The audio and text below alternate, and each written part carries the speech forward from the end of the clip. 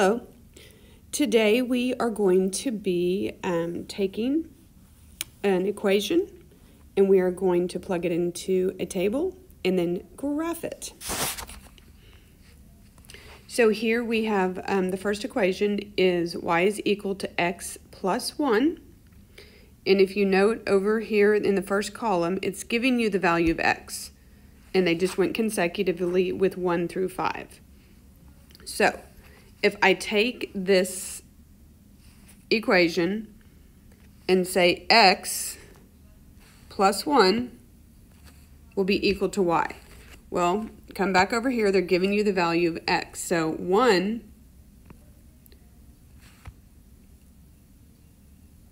plus 1 equals 2.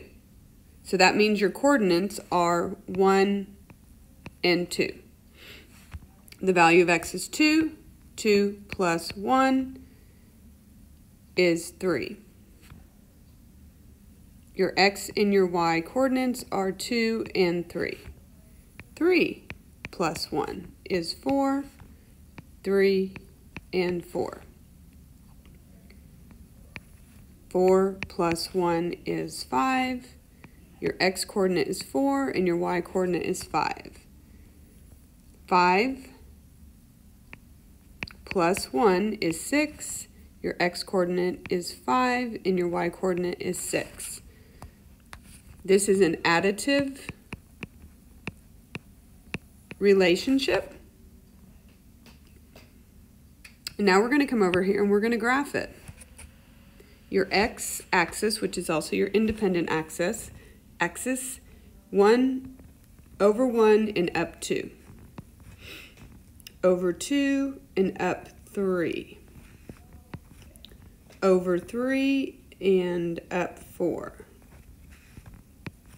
Over 4 and up 5.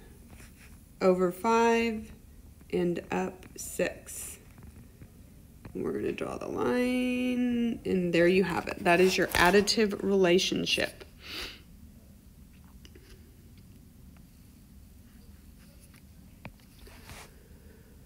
Our next equation,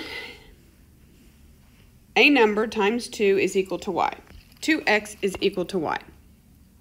So we know the value of x, they've given them to us, again is 1 through 5. So I'm going to say, plug in 2 times 1 is 2. And my coordinates are 1 and 2. 2 times 2 is 4. Your coordinates are 2 and 4.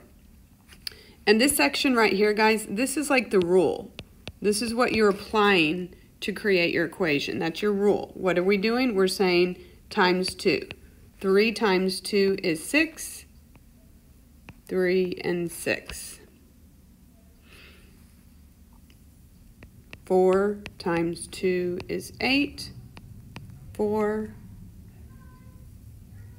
and 8. The value of x is 5. 5 times 2 is 10.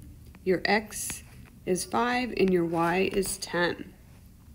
Remember, in fifth grade, they would call the x and y like your input and your output. The vocabulary is now just changing, but you're doing the same process.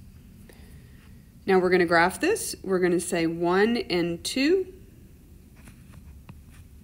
two and four, three and six, four and eight, four and eight, and then five and ten.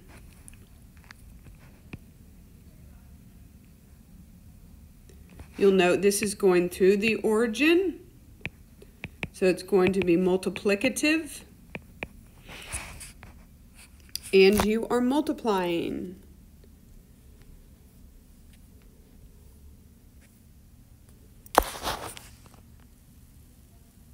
Okay, our next rule is going to be, we are, what are we doing to x? We are subtracting 3. They've given you the value of x over here.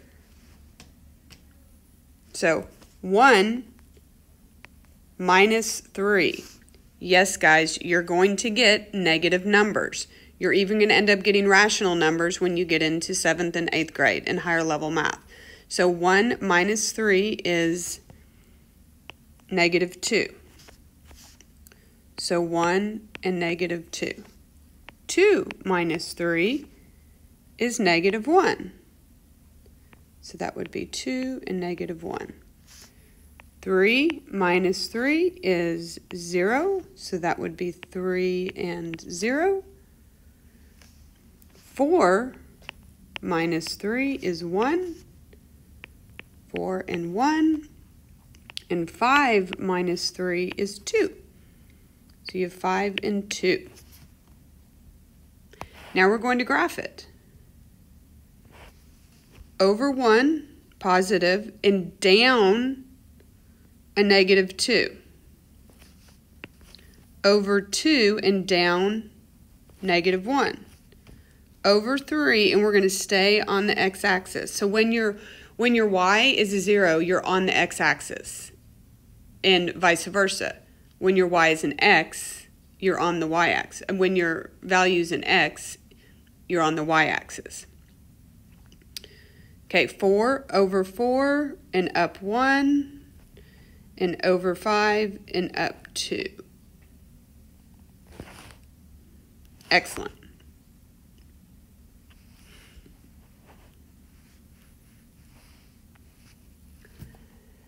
Our rule here is a number, x divided by 2. That's what it's telling us right here.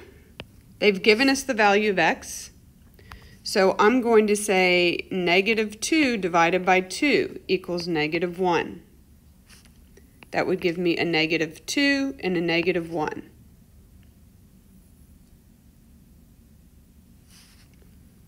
Two divided by two is zero, so that would be zero and zero.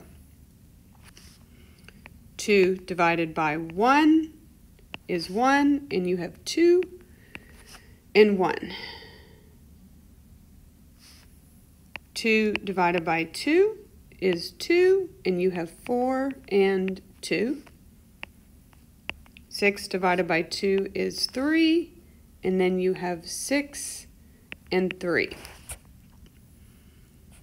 Now we're going to graph. To the left, negative 2, over 2, 1, 2, and down 1. 0, 0, that's your origin. Over 2, up 1, over 1, 2, 3, 4, up 2, and over 6, 4, 5, 6, 1, 2, 3. Very good. It goes through the origin. Again, this is multiplicative. Okay, thank you. Bye-bye.